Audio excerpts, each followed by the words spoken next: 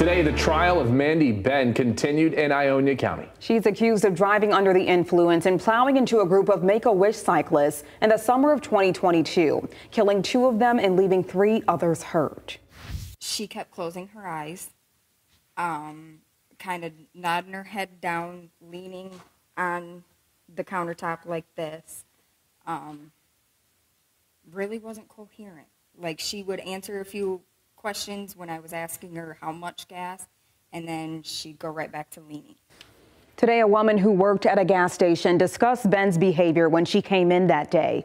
Police say the morning of July 30th, she crossed the center line to try and pass a UPS vehicle and hit the bicyclist. Michael Salhaney and Edward Erickson did not survive. Officials say toxicology reports showed Benn had a number of narcotics in her system at the time. That gas station worker was one of several witnesses called to the stand today.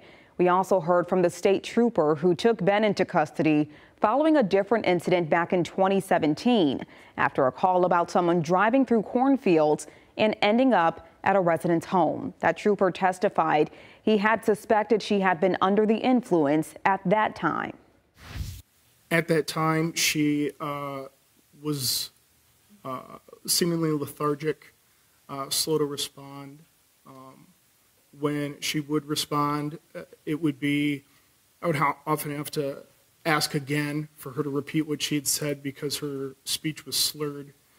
Um, she, when she would blink, I noticed, especially in the direct sunlight that morning, is uh, that her pupils wouldn't change or have much of an effect.